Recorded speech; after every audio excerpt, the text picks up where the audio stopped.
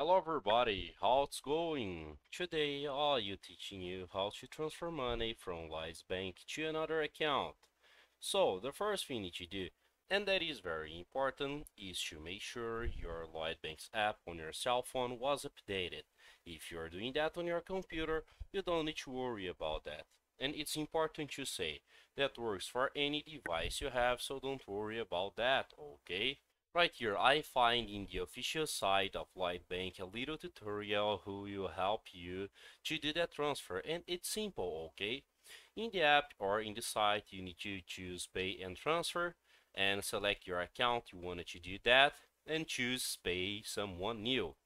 After that, you need to type the details, okay, the name of the person you wanted to pay or the name of the another account you wanted to pay and after that you just put the account number and a short code okay after that you check the details put your key in your mouth okay check all if it's correct security payment and all is done okay so follow that little steps right here it's very simple to do your transfer okay I hope I can help with that information. If you like it, don't forget to subscribe to our channel and hit the like button. See ya!